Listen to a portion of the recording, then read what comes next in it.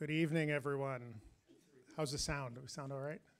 I could, I could use my Shakespeare voice and drop the mic, but they'll get mad at me. Good evening, everybody. I'm Pano Kanelos. I'm the president of the University of Austin, commonly known as UATX, America's next great university. Um, it's my honor to welcome you this evening to what will most assuredly be a very special event a conversation between two of our country's most important public intellectuals, Glenn Loury and John McWhorter. While a more fulsome introduction of these two gentlemen will be forthcoming, let me express them my personal gratitude for being here this evening. These are two men that I deeply admire and who exemplify the spirit of joyfulness and intellectual pluralism that is at the heart of our endeavor. Less than two years ago, we founded the University of Austin, an institution committed to the fearless pursuit of truth through free and open inquiry and serious, sustained civil discourse. In a world of polarization and strife, where the zero sum matrix of power relations seems to be ascendant. Institutions of higher learning bear a particular responsibility to be places where productive disagreements and conversations across differences are not only encouraged, but embraced. The purpose of universities is the discovery transmission, and preservation of knowledge. The reasonable and rational exchange of ideas is the essential component in fulfilling this mission. The habits and practices of civil discourse, therefore, must be foundational. There are three elements to civil discourse intellectual humility, a commitment to the unassailable dignity of all human beings, and a passion for truth. The University of Austin is committed to fostering a culture of civil discourse within our institution. Yet, with the hope that we might promote civil discourse at educational institutions more broadly and at every level, UATX has embraced Mill as one of our core institutes. Its mission is clear. The Mill Institute works in educational settings to explore and challenge the entrenched thinking that leads to a breakdown of conversation on contentious issues. By convening and training educators, creating learning resources, and conducting research, the Mill Institute helps students become less certain and more curious when it comes to the way they understand the world and one another. The director of the Mill Institute, Ilana Redstone, will be our moderator this evening.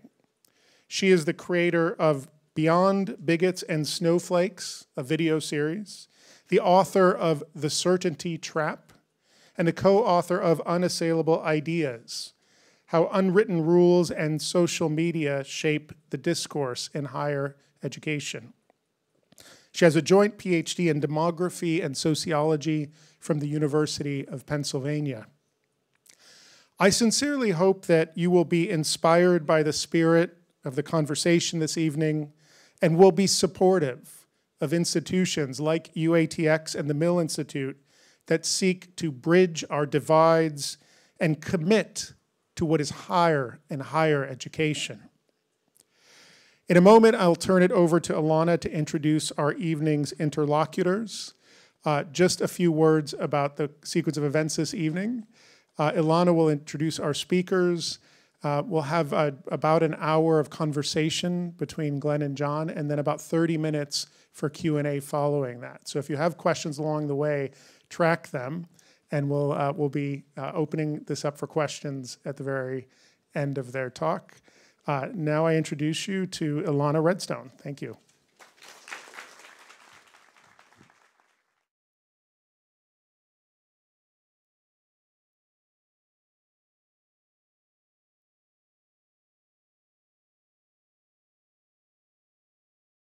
Invite my guests to the stage.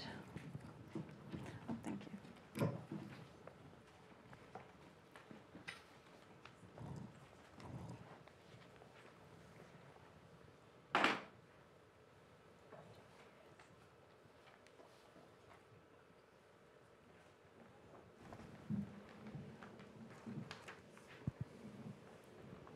Okay, I just wanted to let everyone's mics get set up.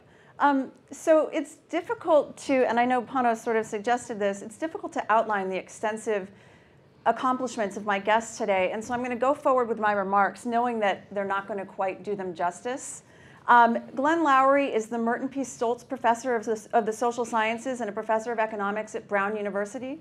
As many of you know, he has written and uh, spoken extensively on issues of race and inequality.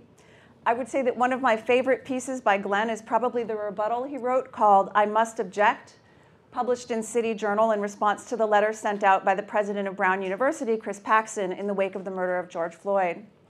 John McWhorter is an associate professor of linguistics at Columbia University. He's a best-selling author, a regular contributor to the New York Times, and an all-around incisive public intellectual on issues ranging from language to race. One of my favorite pieces by John might be from about the same time period in 2020, a piece he wrote on the dehumanizing condescension of white fragility for The Atlantic. As a listener and a reader, I have found John and Glenn to be both individually and in their regular conversations together consistently thoughtful, curious, and committed to understanding various ways of thinking about complex and contentious issues.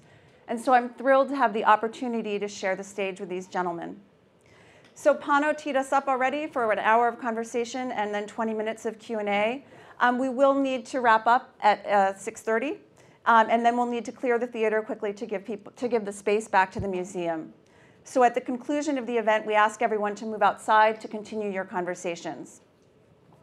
So I want to start out, given our topic is affirmative action, I want to start out with sort of a, a higher level question. So if we start out with saying, with the idea that the issues that we care about, many of the topics we care the most about, are fundamentally morally and ethically complex. And I think we can probably put affirmative action, which is tied to questions of inequality, um, in that category. So, given that, we can, I want to think about how to, where to go with this discussion. So one of our goals is to draw out that moral and ethical complexity as a way of becoming more thoughtful about the topic at hand. And so we want to challenge, as again, as Pano said in the introduction, the settled thinking um, or the sort of certainty in our convictions that often leads us to judge and demonize other people or people who have different opinions. Um, and so getting out from under this settled thinking doesn't mean that the right answer always lies in the middle. And it doesn't mean that everyone should just get along. It means that we're making a commitment to interrogating our own thinking just as much as we're committing to interrogating the thinking of other people and question just what it is that we know and how we know it. I'm going to do my best to get at some core tensions that tend to emerge on this topic around affirmative action. Um, I'm not going to ask you to be stand ins for any particular position. Um, it's more just about having a conversation. So the first thing I want to do is address head on a concern that sometimes comes up when contentious issues arrive. Um, and that is often captured in a quote frequently attributed to James Baldwin, which is, we can disagree and still love each other unless your disagreement is rooted in my oppression and denial of my, my humanity and right to exist. So this is a quote that people, many people rightfully find powerful. There's power in telling the world here's my line and I won't go one step beyond it. Um, and it also says that there are certain things that are just off limits, off limits to discuss. But it can also shut down conversations.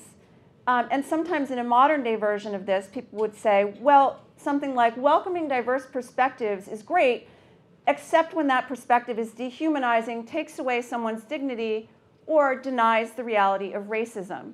And that is the logic that is sometimes applied around the conversation, conversations of affirmative action.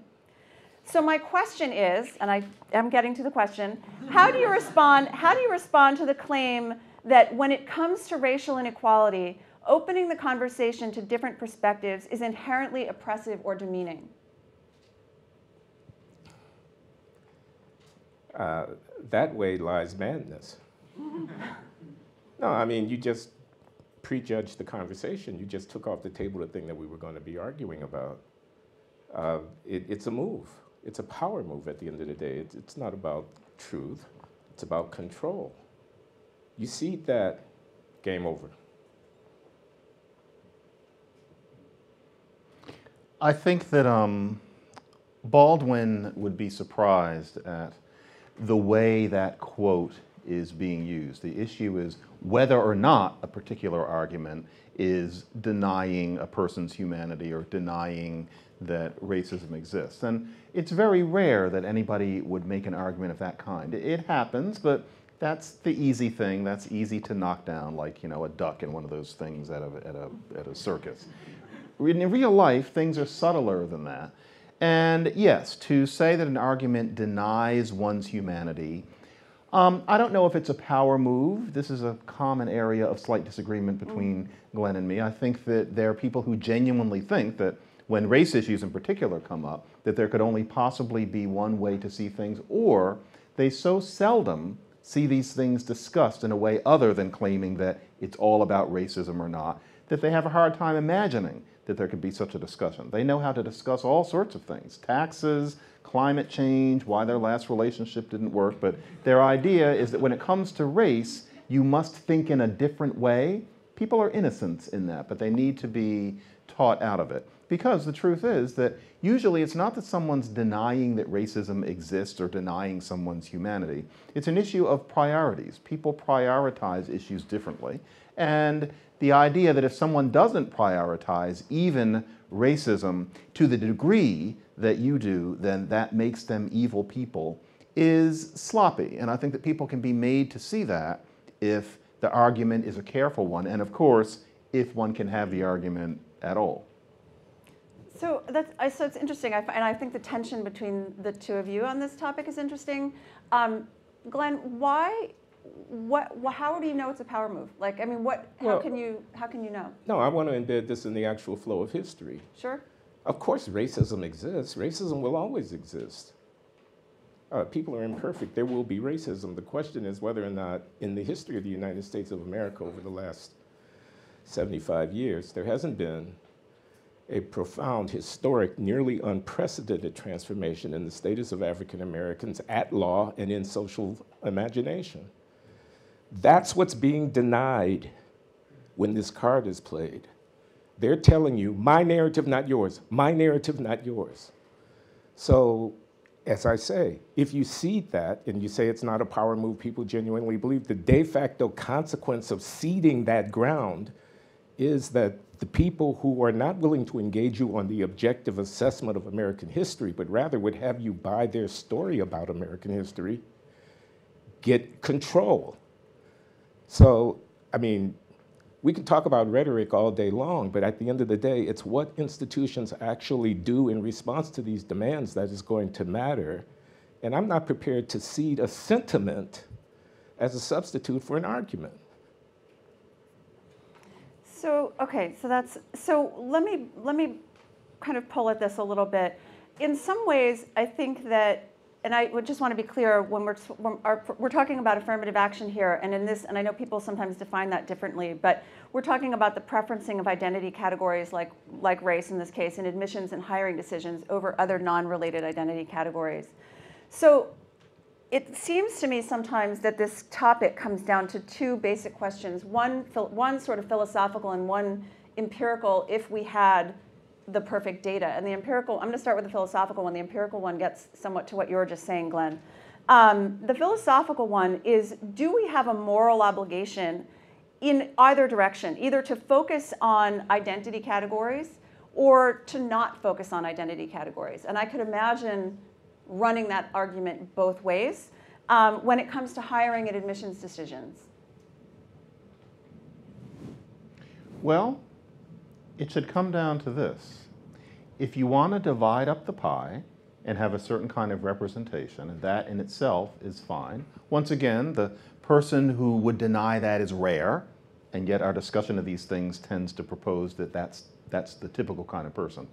Of course you want to divide up the pie, but the issue is whether or whether or not you want to change what you think of as standards in order to have that representation.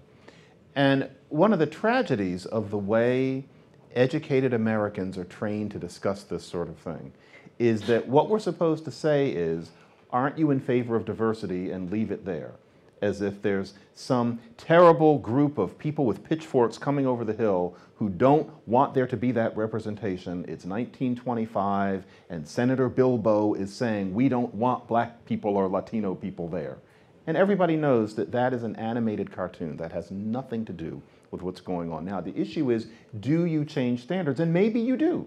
And there are articulate reasons for proposing that you do change standards in order to have that particular kind of pizza Like pie. what? I'm very, I'm very open to them. So, Like, what would be an argument for changing them? a person might say that, for example, black people suffer racism in the abstract in such a way that you cannot expect certain kinds of grades or certain kinds of test scores, and that therefore you have to change the, the representation. You have to change standards. Now, another person might just as respectably say back, but look at recent immigrants to this country, many of them brown skinned, where they don't have any of these advantages, and yet they seem to manage to check off those boxes. Then a reasonable person says yes, but they have what's called immigrant pluck, whereas black people have Right. been here since 1619. You can keep going. Right. Who's the winner? I think everybody in the room knows what I think, but you can have a respectable argument. We're, but we're discouraged from even going that far. Let, let me respond to Yeah. the question as I understood it, which was, is there an ethical imperative to eschew racial categorization and the allocation lean into of them. Benefits or opportunities? Mm-hmm. Or, or to lean, I would say which. And I would say that the big ethical um, truth, gosh, uh, I guess people will argue with it, so maybe I should qualify truth.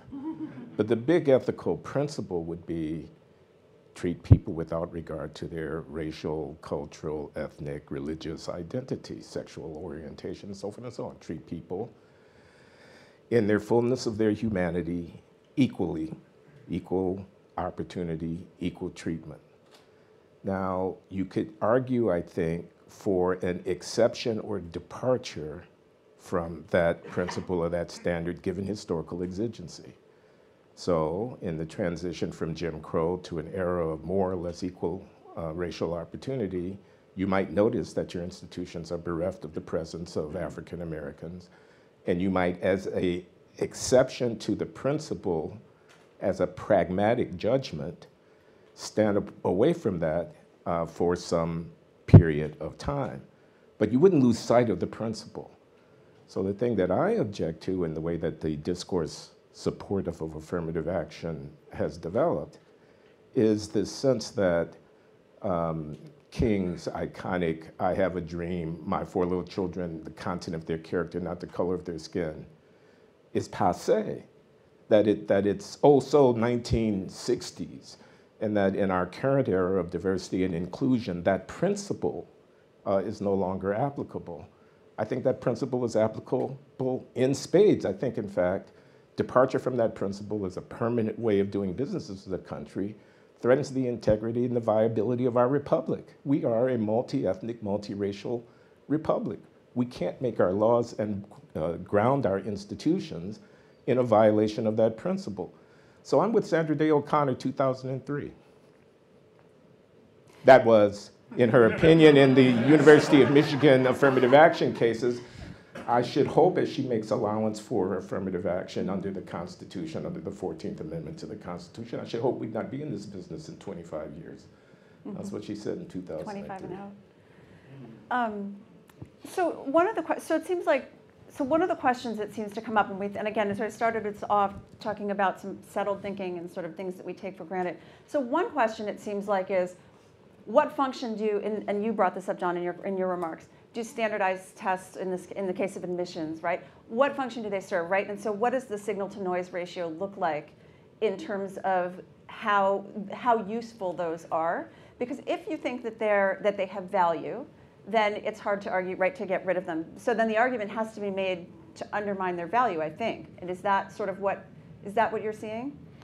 Um, yeah, we have to remember that those tests were created in order to make us get beyond our biases and just have a relatively objective metric of evaluation. And nobody ever thought that SATs were perfect.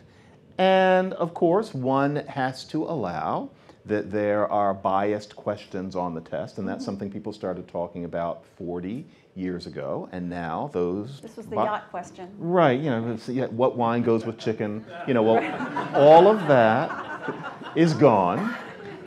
And nevertheless, it would seem that, um, for example, black people and also Latino people, on the average, aren't as good at those tests as some other people. I think there are socio historical reasons that make that almost inevitable. But today's idea is that you call the test racist because of that disparity, and therefore get rid of the test for everyone because apparently the test was imperfect. But there is a willful anti intellectualism in that view because no one is required to say, how is it racist? What is it about being a black person that means that you don't have this ability to fill in these bubbles and answer these logical questions? And if anybody says, well, are you saying that black people aren't as intelligent? They get sent to live on another planet. So apparently, that's not what it is. So, what is it? And we're not supposed to talk about what it is. We're just supposed to say it's racist and therefore get rid of it. I cannot express how utterly disgusted I am seeing universities get rid of that requirement. If somebody wanted to make that argument, and I think there are dueling studies as to how effective the SAT is, and what it all comes down to is that they're rather effective at producing, at predicting how well people are going to do. If you want to get rid of it, fine, but don't get rid of it because black and Latino people weren't as good at it. I find that to be, and this is what you're not supposed to say, but I find that to be an embarrassment, and I'm proud of my embarrassment on that. The idea should be, as Roy Wilkins, as Marcus Garvey, as W.E.B. Du Bois would have thought, the idea should be how do we get our kids to be better at the damn thing? The fact that nobody after 1966 wanted to ask that question is a black mark, so to speak, on the zeitgeist of our times. I'm, I'm utterly disgusted. May I add Yes, something? please. Well, because it's not just the SAT, it's also the GRE. And it's not just the GRE, it's also the LSAT. And it's not just the LSAT, it's also the MCAT. Now, there's information in people's performance on these instruments. It's not perfect, it's not a perfect predictor of anything, but there's information. Uh, it's a measurement, it's a piece of information. It happens to have a disparate impact on identity groups as they perform on the instrument. Nobody has demonstrated that the instrument is any more or less effective in predicting the performance of a student based on the student's race. That's not in the literature. It's not like black students outperform what you would anticipate they would do based upon the test, and hence you unfairly disadvantage them by including the test. The test measures more or less accurately people's mastery over certain kinds of intellectual performance. Now, you get rid of the test.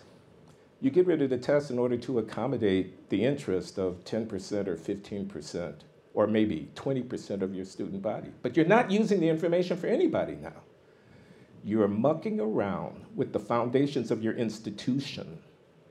You're changing the meritocratic standards that you employ for everybody, for everybody. You've put your institution on the chopping block. Your pretense of uh, selectivity and exclusivity and intellectual uh, excellence has been sacrificed. And sacrificed for what? For failing to acknowledge the information that the messenger is bringing you about a subjective, uh, objective social reality. This is a mistake. You want to do something for the black kids? Develop their intellectual performative capacity so that whatever the instrument is that's being used to assess people, they do better at it. The information in the test is that those people are not yet reaching their full human potential. I stand with John. I don't think there's anything fundamentally barring African American youngsters from competing effectively in any of these venues. But the fact of the matter is that we are not, our children are not competing effectively in many of these venues, as is indicated by the best instruments available to us to assess that matter. So it's a mistake to shoot the messenger. Yeah, it's interesting. I mean, it's part of it is to what extent do you view this sort of any any instrument or mechanism that reveals disparate outcomes as an sort of is that an indication that there's that it's a, that the, that the cause of those disparate outcomes is fundamentally structural or driven by racism, et cetera. And so, to, in other words, let me phrase that differently. But no, excuse me, Yeah. Ilana. That's not my argument. no, no, no. I, no, th- yeah. the, the cause is not the point. The Mhm. point is the consequence. That is to say, if they haven't developed, then that's what we need to know when we come to ration access to elite programs. The reason that they haven't developed, well, might entail racism, and it well might imply fundamental sh- changes in social organization, but it doesn't imply reorganizing the academic programs that we depend upon for the advancement of our technical and, uh, knowledge and so forth over the environment and everything else. So no, I'm not denying that when I see kids with different scores, it well may be that this one had a tutor, this one's parent was wealthy, this one did not grow up in a housing project, et cetera, et cetera. Those things all may be true and they may be implicated in the disparity. But the disparity itself is real. Right. No, I thank you for that clarification. So let me ask a different question. So to what extent, so, or let me put it, sorry, to the extent that people on both sides of this issue care about racial inequality, um, and feel free to disagree if you think that that assumption is itself wrong, um, where do you think that they part ways? Well, actually, Ilana, it's the thing that you you started to say, where especially these days, the left is encouraged to embrace an idea that if there's any kind of disparity between, for example, white and black, or white Asian on one side, black Latino on the other, then it must be due to something called racism, with kind of a capital R, and you're not supposed to look too deeply into what the racism consists of. Whereas I think that many people on the right are impatient with that argument. Now, are some people on the right the kinds who say, stop stirring all of that stuff up? Yes, that's an unreflective position, more common among the less educated. But there are people on the right who are quite enlightened who just feel that that use of racism is basically not shining as much light on the issue as one might think. And so, for example, the Washington Post ran a truly egregious article um, last week about Shaker Heights, Ohio, and the problem with um, black kids' performance in schools in Shaker Heights. And they ran this article when about 20 years ago, all of this, 25 years ago, that situation was very carefully covered. The Washington Post article basically implied that there must be some kind of racism involved, that the teachers must be subtly biased against the black students in some way, that bias must be why black kids are so rare in the advanced placement classes. That's just the common wisdom today, and I remember thinking if I were 18, I would read this article and take in that that's the way it is. There wasn't a single mention of the fact that the black Nigerian anthropologist John Ogbu, who passed away youngish and so he can't defend himself now, but he did a study in Shaker Heights, a very sympathetic study where he interviewed legions of black families, and he showed that among black teens, there often is an attitude that to do well in school is not just nerdy, so it's not like Martin on The Simpsons. It's that you are disloyal to your race, which is a nastier charge, and it tends to make black kids pull away at a time when they be, would be acquiring the skills that Glenn is talking about. He wrote a whole book about it. It went into paper. The paperback was cheap. There was a documentary. Now that there's YouTube, you can see the documentary online with black male teenagers saying straight up, I was told it was white to do well in school and my grades went down. I remember this. The Washington Post article said nothing about it. That was absolutely egregious because that's not an honest debate. The person on the left says it's all about racism. The person on the right often knows that there's proof that things are more complex than that. And I'm not going to talk any much longer than 15 seconds, but the reason that that black boy feels that way is not because he's dumb, it's not because there's something wrong with him, it's because he is a legacy in a way of what happened when schools were desegregated for real in the 60s and kids met genuinely racist teachers and kids. That, in 1966, is exactly when black kids started thinking of school as white. That's a terrible thing, but racism in Shaker Heights, Ohio, 10 minutes ago is not what's creating that problem. I don't want to cut you off if you wanted to add something. No, I, I had my say. Um, so let me ask. I, so I have one. So here's a question. Um, to what extent, and the answer may be not at all, but to what extent do you think that sort of where things break down on this topic is fundamentally tied to the ways people think about the following question, which is how, there's a couple different ways you could phrase it, but let me try it this way. What percent of US adults are racist? Like, I'm not saying you should answer that. I'm just saying, like, that the different ways people think about that question, that you can trace a lot of this to that. To what extent do you think that that's an accurate way of thinking about it? Uh, I have no idea. I mean, I, I would like to respond to that Yeah. question, but I, I don't have any knowledge base from which to draw in that. Uh, your earlier question, I think I would like to make a comment on, which is what, what's really do they disagree about the people who are Yeah. on different sides of this issue? And I think um, what it really comes down to at the end is what are the purposes of the university? I mean, if you say the university is, in effect, is basically, I mean, there are books around, there are lectures being given, but basically it's a social club where kids uh, get a union card that allows them into the upper middle class of America. They get through the door, they get a access to power, they get privilege, they get to the top of the pyramid. And therefore, if you're the custodians of access to this portal through which you must pass if you're going to be a player in American society, you are obliged, given American history, to ensure that there's a diversity of ethnic and racial and um, identitarian uh, composition in, in your charges because you are, in, in effect, the gatekeepers to who's going to be running American society. And we're better off to have that be a diverse cadre. That's one view of the university. Gatekeeper to the elite, access to power, privilege, et cetera, stamping the approval that allows a person to be a player in society. If that were the purpose of the university, I'd be foursquare behind trashing its standards in the service of making sure that it uh, provided access on a more or less equal basis to people of various groups. But I will go down swinging on the point that that's not the purpose of the university. The purpose of the university is to cultivate excellence. It's to pursue truth. It's to push the frontier. It's to develop the finest and the best. It's to remember the finest and the best. It's to codify, it's to enshrine, it's to canonize the finest and the best.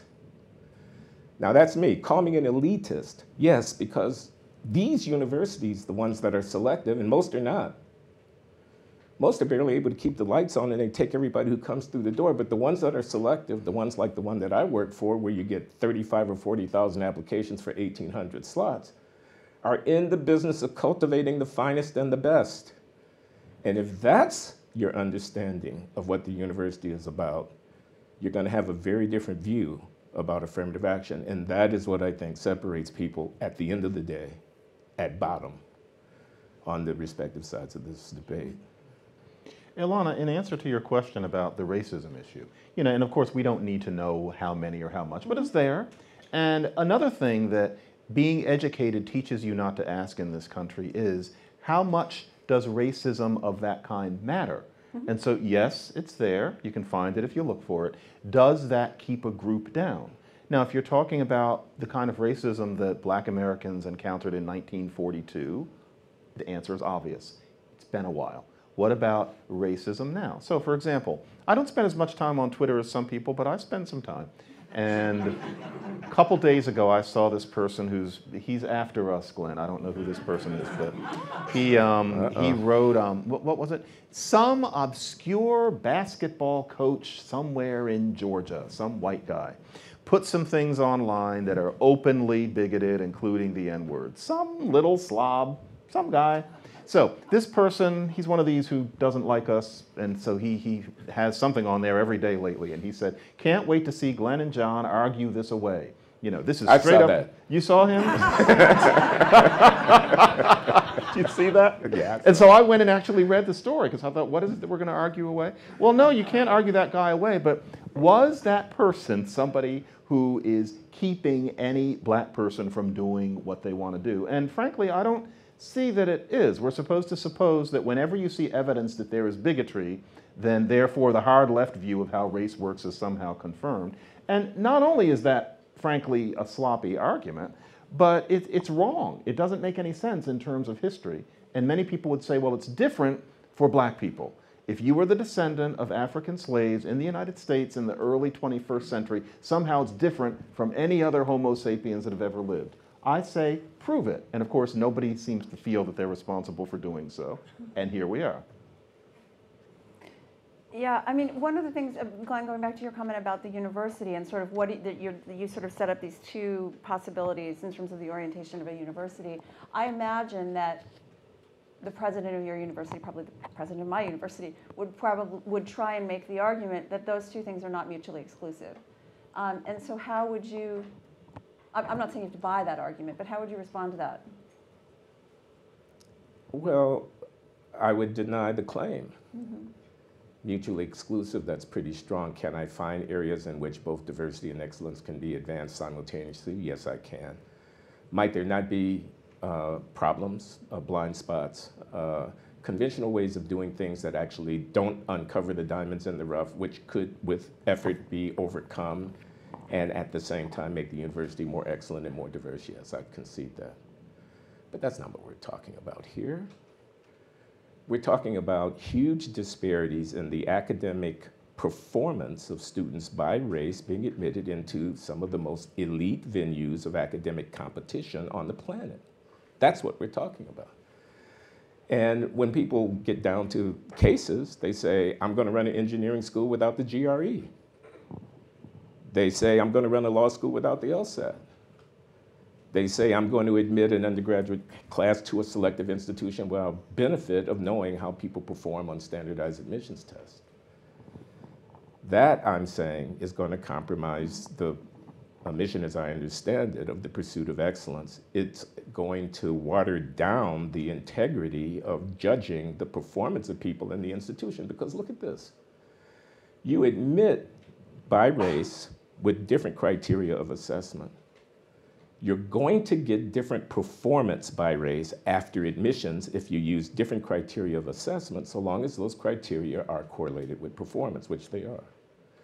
So you create a circumstance in which you're going to de facto have differences in performance amongst the elite cadres in your university. How is that going to be accommodated? Are you going to humiliate the students who are performing poorly by maintaining your very rigorous grade standards and so forth and so on? Or are you going to make compromises in order not to reveal the consequences of what you do? You're going to do, if evidence is any guide, the latter. That compromises what I say is the principal purpose of the university. So, I mean, I think I have a proof. Uh, the proof is criteria of assessment correlate with performance. Different criteria of assessment are used to admit black students and others. Ergo, different performance among students post admission. Then what? Then we honestly acknowledge those differences and attend to them? That's very, very difficult. In fact, you could argue that the, and I'll stop. Yeah. What was that, 15 seconds?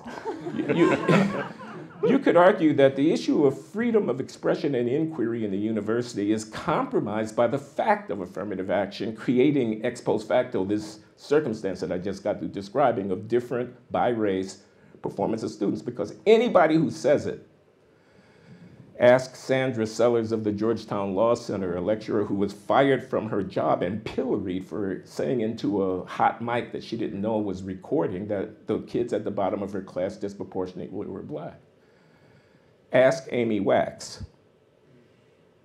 Anybody who actually says it is going to be uh, hung by the thumbs. Uh, that's not free inquiry. That's another indication of what I'm saying, which is that the university, this precious institution, this is high culture that we're talking about here, is being compromised in the pursuit of this uh, demographic representation. I think it's a mistake. You know, one person who got away with um, writing about what happens when you admit black students under different standards, somebody who actually got away with it, it was me. It was 25 years ago. and I wrote in my book, Losing the Race. I was writing in 1998. It was published in 2000. I wrote about that, and I got away with it because I'm black And that meant that you know you can't get rid of me because then you're a racist to fire the tenured black professor. And you know, I'm going to recommend something because it's been a while. I'm in a whole different phase of my life. A lot of people didn't like that I actually wrote about the students and what it was like. I was one of them. You didn't like it then.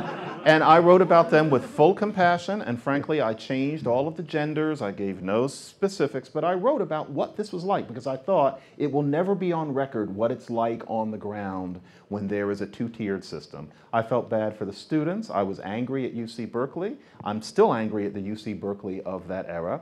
And I just want to say something for anybody who's watching this. You know, for you, you people out there in the dark, so to speak. I don't mean in this room, but people watching this online. Losing the Race, year 2000, chapters two and three. And you will see somebody who could actually sit and describe it without being chased to another planet. I'm still here on Earth. And you'll see that it was a tragedy and I'm worried that we're about to reproduce that with this fashionable idea that now nobody is going to be submitted to a test of abstract cognitive skill because testing black people on abstract cognitive skill is racist. What have we come to? What have we come to? Uh, so I think that's that's interesting. First of all, I just wanted to clarify when I said my, my own university, sort of, I meant the my I meant my tenure home at the University of Illinois, um, as opposed to sorry, as opposed to UATX. And I think that part of that ties to. Um, part of it ties that I think, Glenn, this, it sounds like this is part of your frustration, and, and John, this is, it actually speaks to what you were ta- just talking about that you were able to say in your book all those years ago, which is sort of an honest engagement with sort of if we're going to make this decision, we have these goals, we're going to make this decision to, in this case, you know, change standards or whatever, and we have all of these justifications.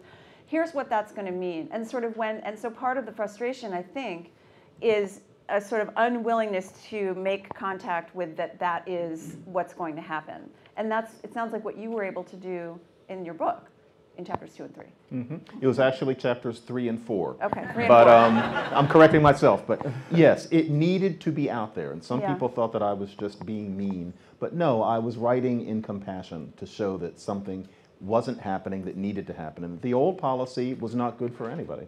And I think that, frankly, empirically, it stands. I think people should should continue to look at those chapters. Right. I mean, at some level, it's one thing to sort of tweak things and be honest or sort of change standards, I guess, is a more direct way of putting it, and being clear about what that means and sort of having an open discussion about what that means. It's another thing to say, okay, we're going to do this, but we're not going to talk about the fact that we're doing it. Um, so let me let me switch gears a little bit to uh, this idea, this question of representation. And John, I know you wrote about this not that long ago for the New York Times. What drives? So one of the questions around affirmative action, or one of the arguments, is has to do with this idea of um, well, I guess two things. One is diversity being a good of its sort of just being a good on its own, um, and having a value sort of uh, um, on its own. And the other idea is this with representation is this that there's a benefit to people seeing people seeing other people in positions of power and authority that look like they do.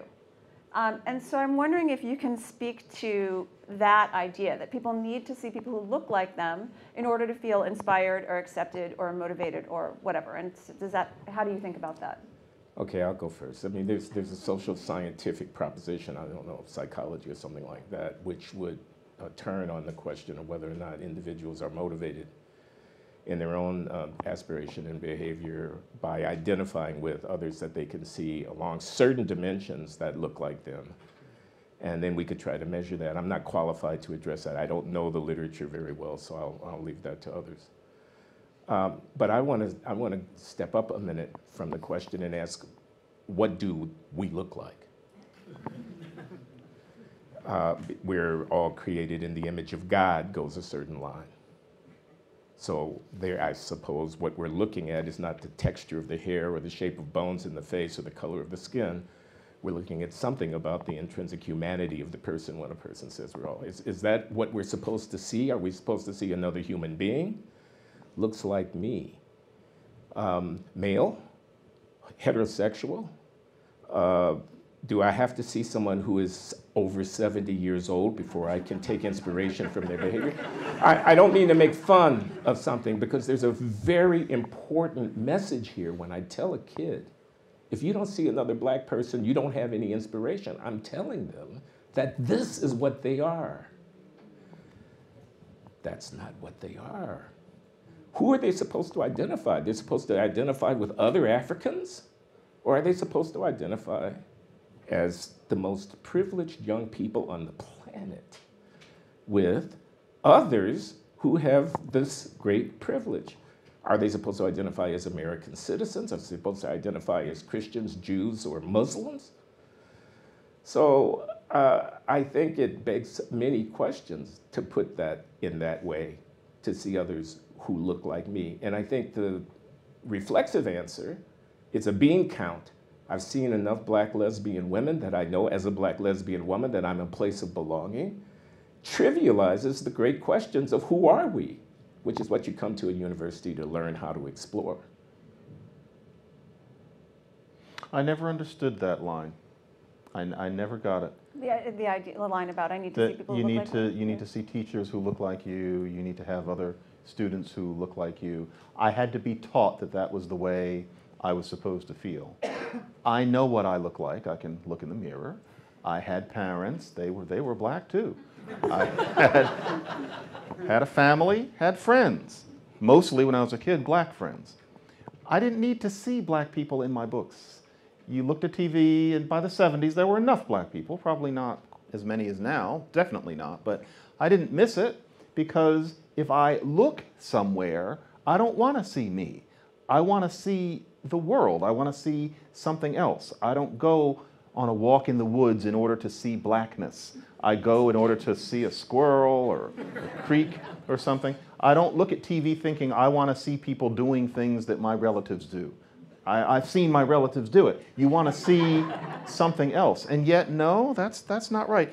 And I know that there was that Times piece. I don't read the comments, but in this case, I didn't need to. Every second comment was John McWhorter thinks he's so special. He thinks he's so smart. He likes teaching himself languages, but that's not what everybody's like. But no, no.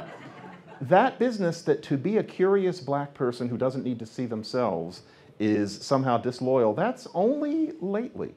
Because in, say, 1932, you couldn't see yourself in popular culture, and black people just dealt with it. Your blackness was you and your life, and then you went and you saw a movie like Dinner at Eight, and that was pretty much all there was, and no one really complained. Of course, it's better to have the representation that we have now, but that idea that you're, you're being deprived by not seeing yourself in your education, in your popular culture. I'm reading a book right now where there's this wonderful chapter on Du Bois. He would have been horrified. Yeah. He's learning German, he's talking about Kant, etc. Nobody told him that he wasn't black enough. That didn't come up. The only people who said that to him, frankly, were white people. And yet, here in our post 1966 age, you have that line. I've never heard a Chinese American kid say it. You know, they don't, they don't need to see Chineseness in their teachers. And they weren't saying it even when there weren't so many Chinese American students around them. And I know that because I went to college when there were very few.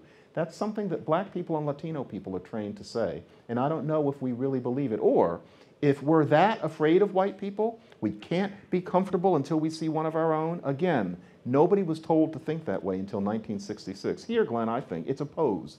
It's a pose that we're encouraged to take. White people make me nervous. I need to see black people.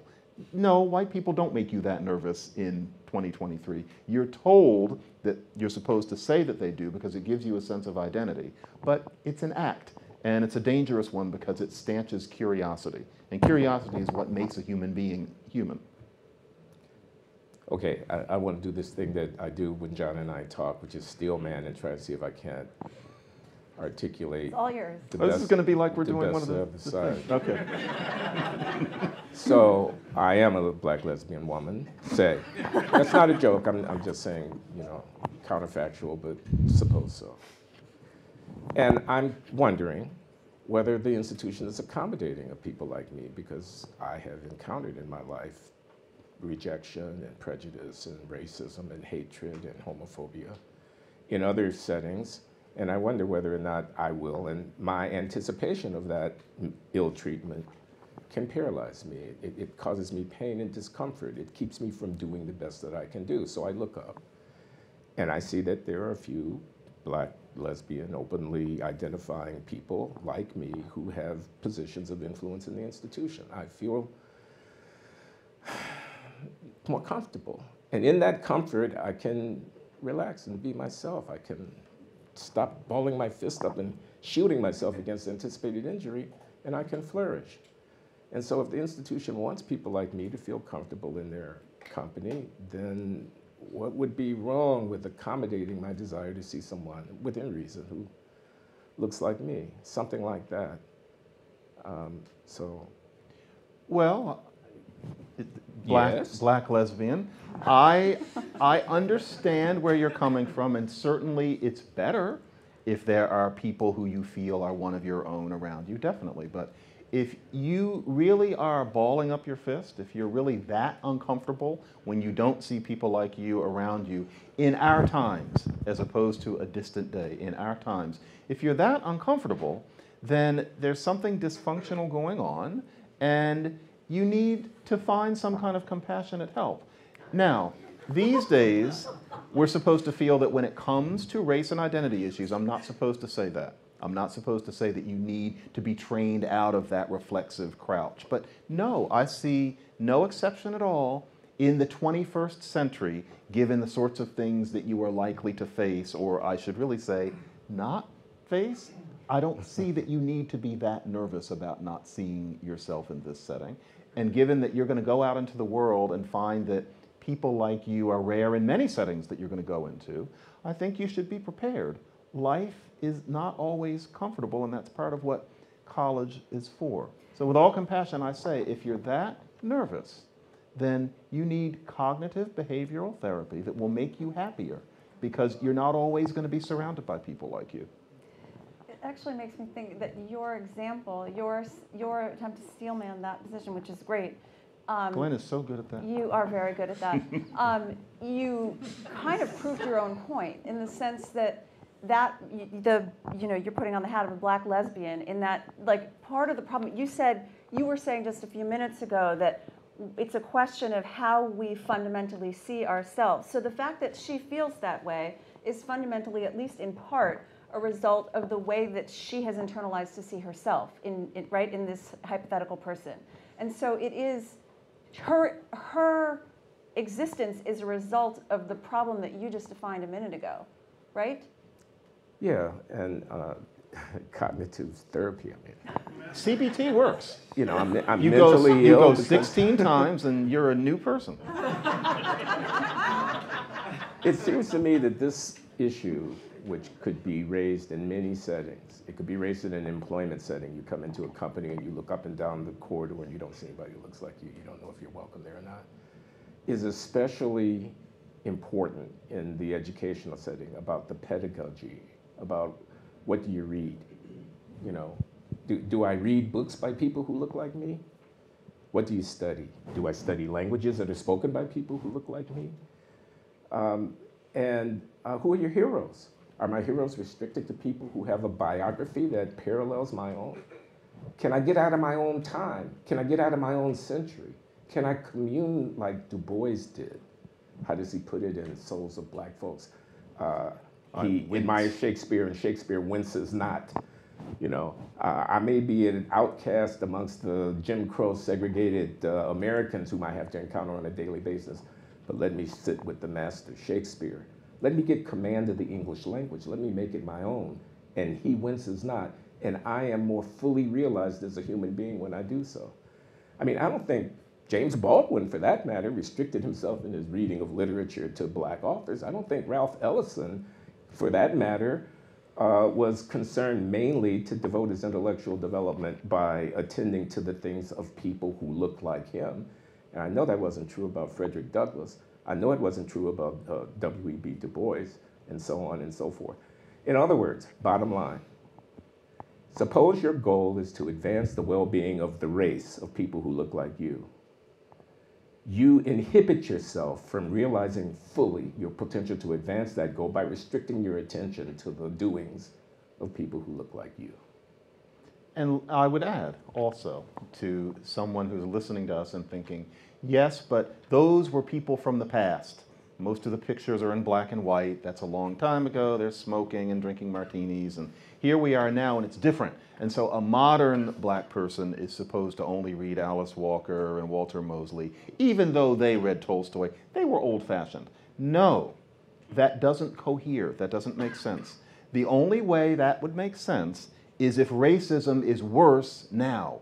What is it that we know now that Ralph Ellison didn't? And I think only a serious partisan would deny racism is not as bad now as it was in 1950. So we can afford even more than them to read Joyce Carol Oates as well as Gayl Jones, etc. Not less. And so if W.E.B. Du Bois read all over the place, we can even more. Lynching was legal in the prime of his life. We live in very different times. So we can't reject those people because the photos are black and white. It's better now. We have a widened opportunity. Yeah, it's interesting. I mean, at some level, the question of representation itself, how we think, what we look for in representation is a reflection of how we see ourselves in the first place, which is, which is going back to what you were saying earlier. So, um, okay, so let me ask a question. Our, we have this, our title here has to do with fairness for our conversation. So, what does it mean for something to be fair from the standpoint of supporting affirmative action, and what does it mean for something to be fair for somebody who is opposed to it?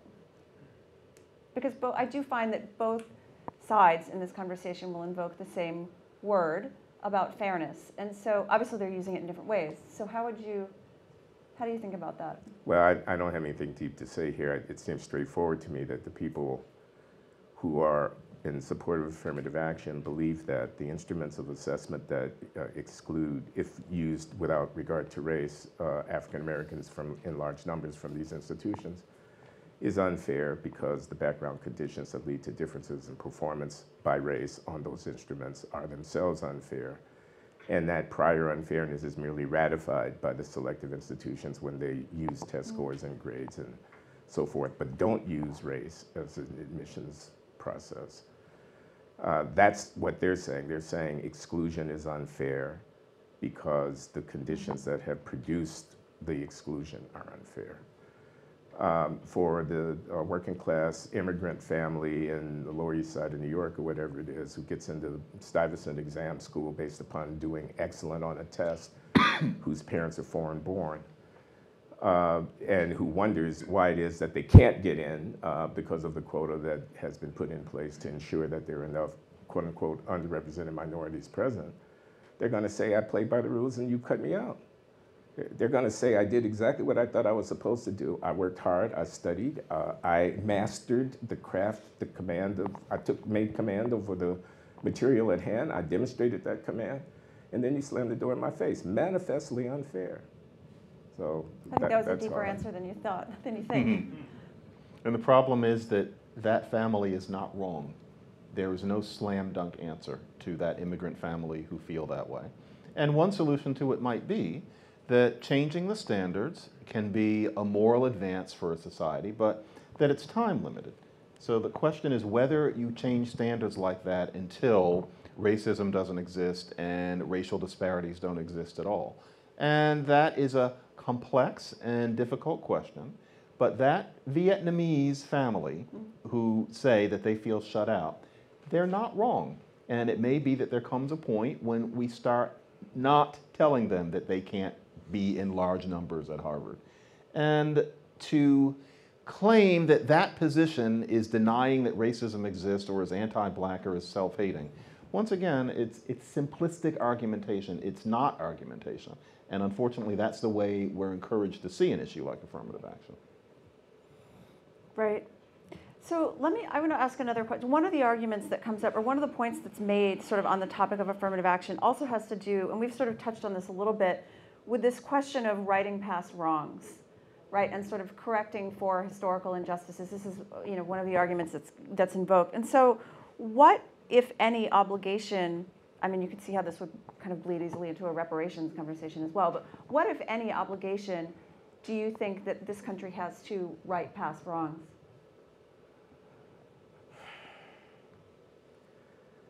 Well, in the context of affirmative action. You, in any context, but sure. Well, I mean, there's an easy answer. Uh, we should take the responsibility where possible to address ourselves or to the redress or the correction of, of past wrong. But I think as a practical matter, uh, that's, you know, uh, Yeah, the reason I'm hesitating here is I don't want to say there's no obligation to redress past wrong because one could enumerate any number of cases in which you thought that some kind of redress was required. But in the context of affirmative action, I, I think that's whatever we wanted to do, the wrong site to be trying to do it. Um, and we're, I've already said what it is that I think, the reason is that I think this, but um, I, I think that if you wanted to re- address yourself to past wrongs, the entry gate into elite institutions at the end of the developmental process, where you're dealing with people who either have or have not acquired mastery over technical material that is uh, essential to the further advance of their uh, education and so forth. My idea of the university, that's not the site.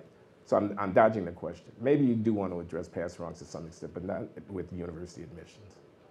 Maybe we have addressed them. There's another perspective. Pull the camera back.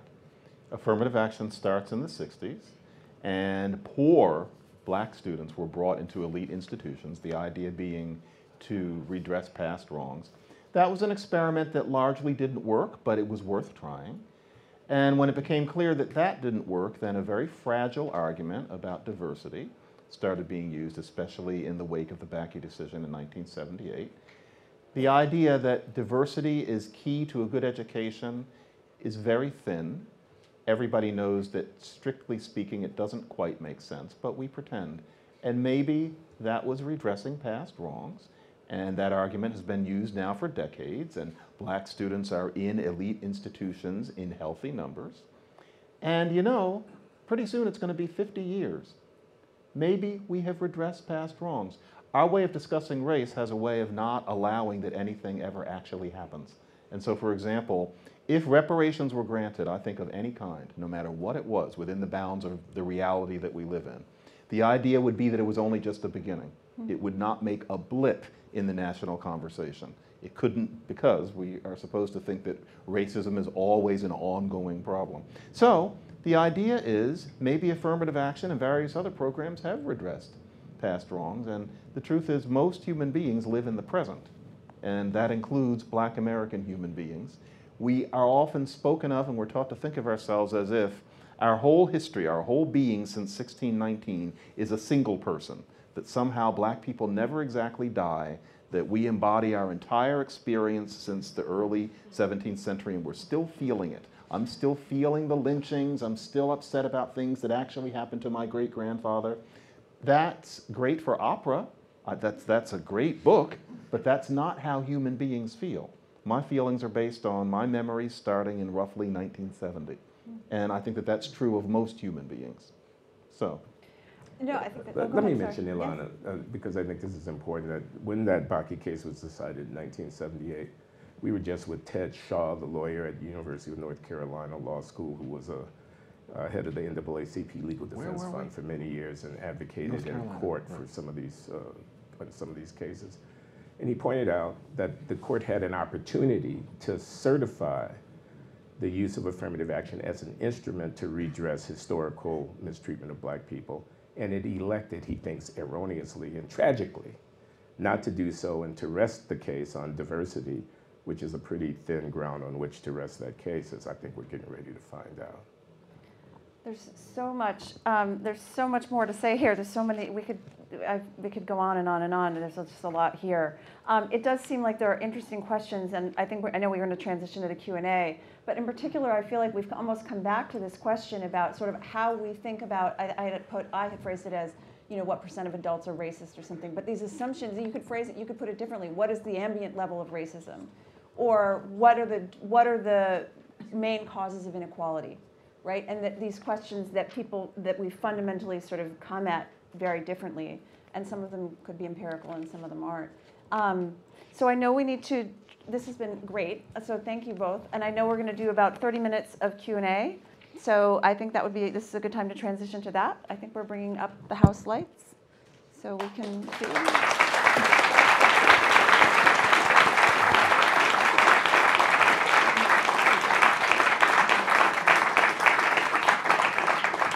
So I think we have, um, we have two UATX. We have Kaya over here and Audrey over here with, Audrey, do you have a mic too? Oh, yes. Um, and so if you have questions, just raise your hand or somehow, and we'll, and I will do my best to repeat questions so that everybody can hear to- if we don't get the mic. Thank you. Uh, I have a question, uh, sort of related to what Glenn was saying about uh, the, the university being a place where you know the, the canon happens, more or less. I'm sorry, where what happened? where, where, where or, or the conception of the uh, of of a university is a place for the canon, for you know, for what counts as intellectual insight. My question is, if you, I, I would like for you to say a little bit more about the sort of initiatives and incentives that drive academic research and how that conditions canons and how they get formed over time. Because, you know, coming from the humanities, there, there is a sense in which it's a little more ambiguous what counts hmm. as canonical and why, and that gets changed over time. And I think that you could actually make an argument that it's when it comes to, let's say, graduate admissions. Well, when those, when those What is your question? my, my, my question is, it's already, it, it's always been perfectly fitted in terms of the, the canon selects for what is most popular at the moment. And so we're living through a moment where it's simply changing, and we can't say that it's better or worse, it's simply different. I'm sorry, but that's not a question. What was the question? What? I'm just trying to make it easier for him. Sure, sure. Yeah. My, No, I get it. I, Okay. I, I, I get it. It's, it's an observation that we construct as we go along, the criteria of assessment and judgment that we regard to be what is canonical and what is excellent, and that there, there can be disputes about that, and that that is not a fixed thing. And I wouldn't, I'm, I'm not a literature or humanities guy, so I may not have my I's dotted and T's crossed on all of the Pierre Bourdieu that I need to in- bring in here in terms about what creates distinction, or the Michel Foucault that I would need to cite, or Jacques Derrida that I would not want to overlook. Uh, that's not my thing. Um, I would retreat to this ground. I would say, whatever the various currents that are going back and forth that are influencing the evolution of the canonical, racial identity in and of itself shouldn't command uh, attention. You shouldn't be able to say, I'm black and therefore. You, you should have something more to say. Now, if you say, I'm reading Toni Morrison and I'm learning a lot about it, and I don't see that on your reading list, and you really need to put it on your reading list, we could have an argument about that. Yeah. Something like that.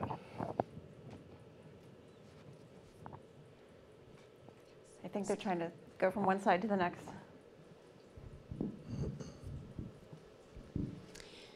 First, I just want to thank you both so much for um, all the work you do. And as a public school parent, I'm distressed about the extending the soft bigotry of low expectations. My favorite phrase from a, from a uh, president to everyone, which is what's happening in New York City public schools. I was, I was thinking about when you were talking about um, there are explanations for the discrepancies in performance that are cultural, economic, et cetera. But I was thinking about a, a book I read about premature birth, and it had one chapter entirely on race, arguing that the maternal mortality rates and infant mortality rates of black women in America are disproportionately high, and that even women, black women from other countries that had healthy birth experiences elsewhere, once they come here, it becomes the same. And that there seemed to be no other researchers looked into it, and there were no other arguments besides racism. And I wondered if you had thought about that. Those things are real. I mean, I think that probably if you looked at that, you could see that it had something to do with a tendency to suppose that black people tolerate pain better or to not listen to black people's self reports about what they're going through. All of that is real. It is tragically predictable of the way human brains work, and especially in this country. And so it's important not to start taking a, a whack a mole approach to these sorts of things and thinking, how is it not racist? There are things that make it very clear that racist sentiment does exist, and it tends to have impact in ways that are subconscious but nevertheless powerful. Now, I would say that that, as hideous as it is, does not explain the issue about the standardized tests. And so to look at the standardized tests and say, that's racism too, no, I, I would separate those things. But that sort of thing is real. And I think part of being an educated person is to try to resist it and to check yourself for it as much as possible. Now, to regard those sorts of things as evidence that to be white is to carry the original sin of white privilege and to nurture a theatrical sense of guilt about it, I'm not sure what purpose that serves anyone, but still, yes, those biases do exist and they can have effects. There's, there's nothing to, there's no point in trying to deny it. It's real.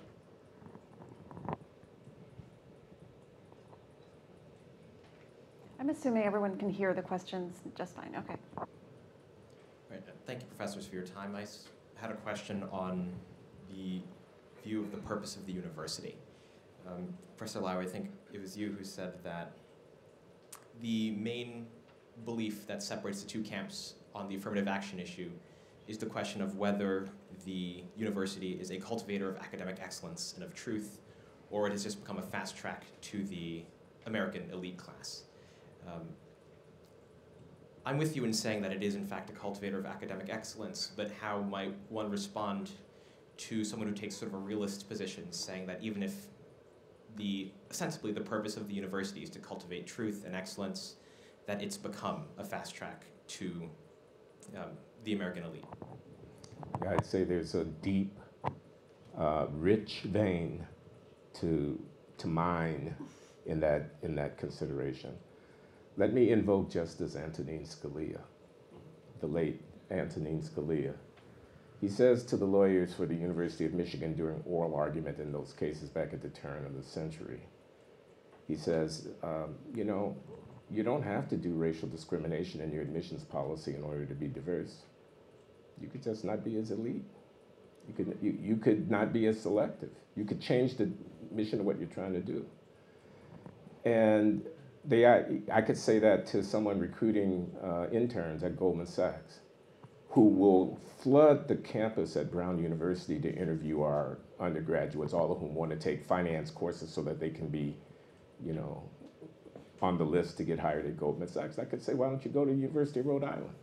Why don't you go to the University of Connecticut? They got plenty of smart people over there who are doing finance. No, no, no, no, no.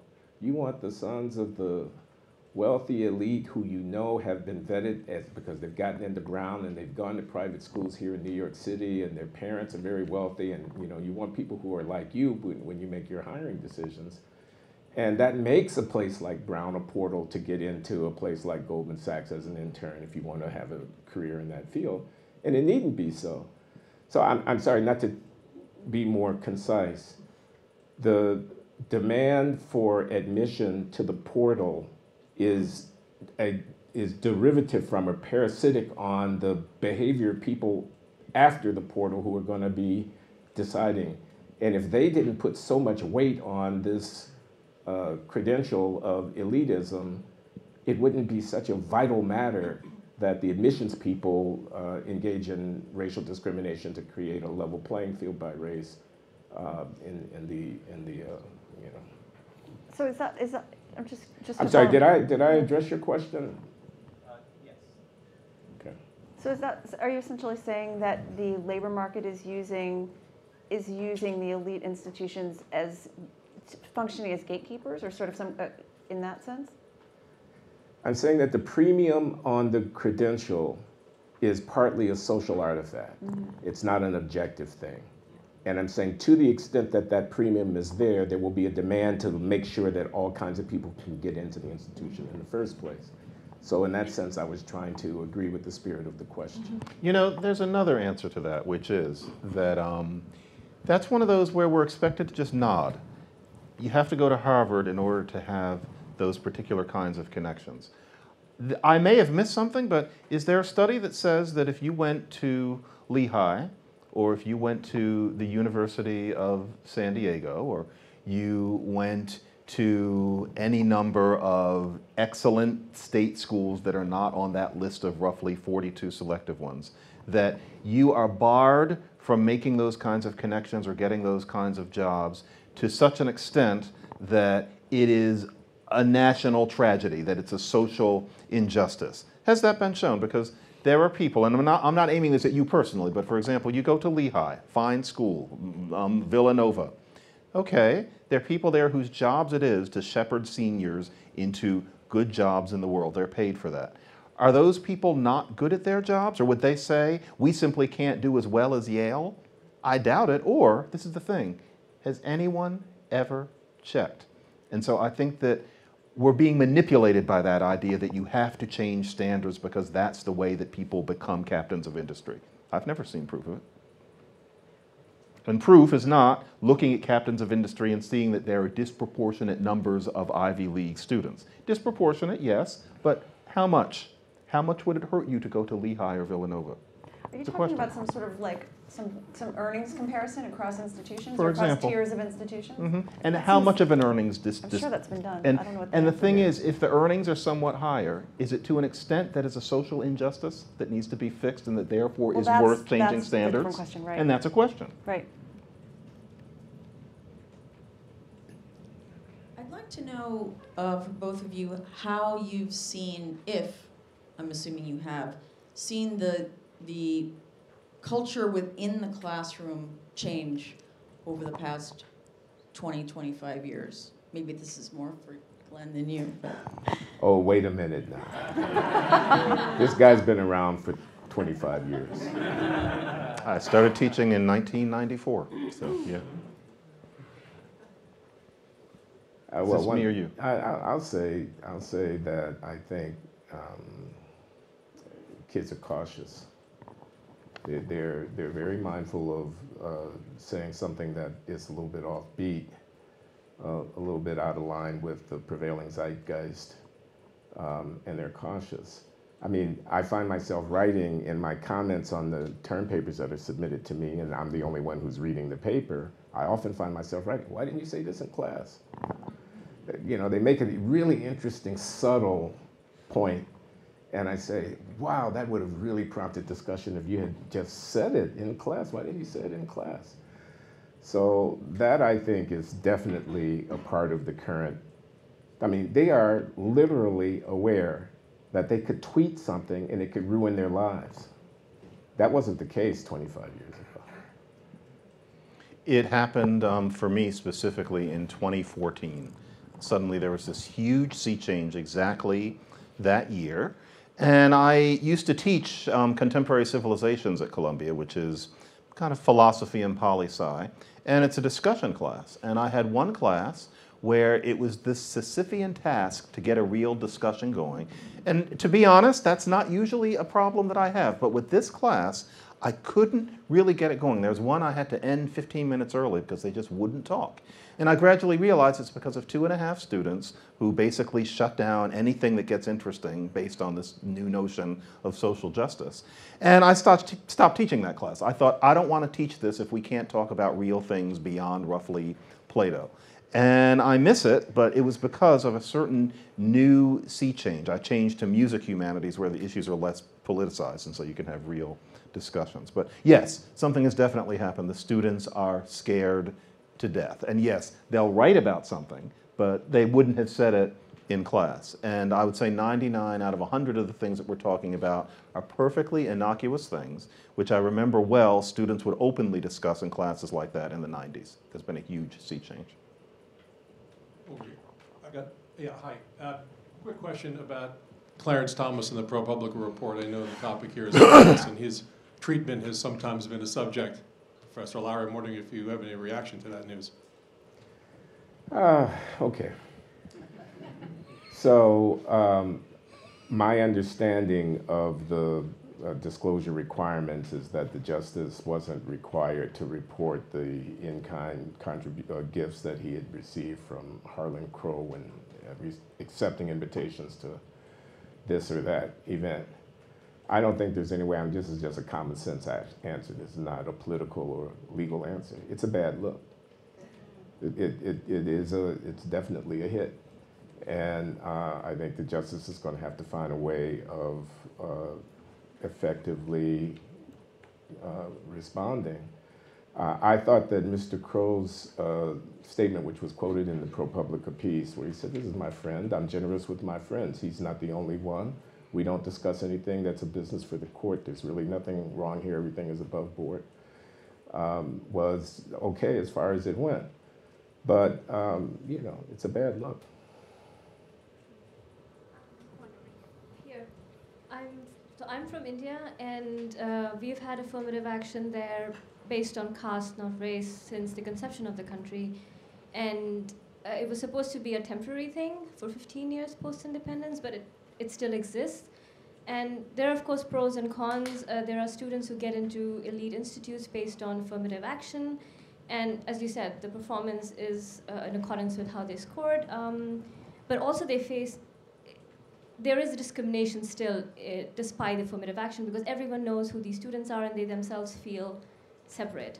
However, as a pro, they do. Um, so now you can only avail this affirmative action for one generation. So once the family gets it, elite education, a good job, and then they're uplifted, and then the family is at par, well, economically with the rest of the non-affirmative action people. So, I, my question is, what can we learn and from this model that has been in existence for 75 plus years, and how can it be applied here in America in the context of race, or if there is anything, any parallels, or anything that we can learn, and like what should be done and what shouldn't be done? Um, this is going to be have to be our last question as we're winding down here, so I'll let them respond. The question is, what can we learn relevant to the United States discussion of affirmative action from the experience in India? Um, do I get it correct in recollecting that some of the upper caste uh, Indian students who have been rejected from universities because of affirmative action have self-immolated in their protests? Uh, some of them, yeah. sorry. I mean, it's a extremely sensitive political issue, is it not?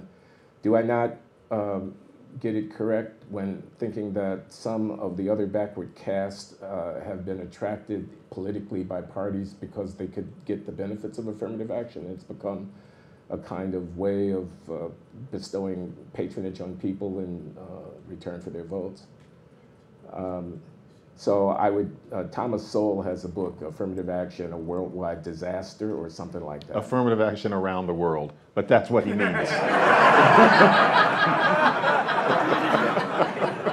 so, so, so I think, you know, the dark side uh, of some of the things that can go very badly wrong in a society that institutionalizes this practice uh, are um, revealed uh, in the Indian experience. I don't dare to try to say that that therefore implies the U.S. with this or that, but I think you can look at the Indian experience and come away with certain uh, cautionary tales. So I want to just close out here with one final question, um, and if I can make a shameless plug and put you both on the spot. Um, what do you see as the value of conversations like the one that we're having on this, well, on this topic and other contentious topics?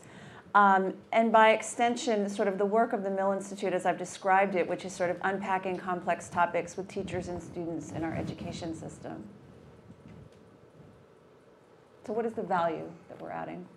I was um, I was a fac brat when I was a kid, and so I grew up around my mother teaching college students, and even when I was say 10 or 11, I noticed that the students going through these four years were not coming out knowing what the capitals of the states were and knowing what mitosis was, et cetera. They were smart people, but I couldn't help thinking they're not becoming nerds. They're not being stuffed with information. That's not the point. And I asked my mother, what is the point of them spending these four years in extra school? And it, it wasn't skeptical, but I was just saying, how come they had to keep going to school? What are they learning? And she said they're not learning what the capital of Minnesota is, but they're learning that issues are complex and that the answer to anything interesting is not just all I know is. She said it's the, um, my mother could be pretty tart, but I think she was usually right. She said, What most people do is sit around agreeing with each other. If you listen to conversation, especially with, among people who haven't gone to college, what everybody does is sit around and find points of agreement. When you've gone to college, then you learn how to not agree. And she said, frankly, it makes conversation more interesting. She was dead on there. And so the point of a discussion like this, whether it's about affirmative action or smoking or mitosis, is that you expand your brain by understanding that in the real world issues are complex and that you can see things from various sides and that both sides might be correct and that that is also true when the issue is something along the lines of social justice or race or gender. It doesn't suddenly become different because of those issues. That to engage the world, to have some fun with your brain before you pass away at the age of 82 probably, is to learn. no, oh, Glenn, I'm so sorry. 102. Glenn, that was terrible. Before pass away at 112, is that you want to expand your sense of what engagement is. Glenn, I am so sorry. No, man. no. Glenn, you get the last word here to close us out. Go I'm wherever doing you'd like just with fine. it. My liver, my kidneys, my heart. they're all You're going to be with us for 300 years. Sorry. We'll see about that, and I should be knocking on wood somewhere. Yep.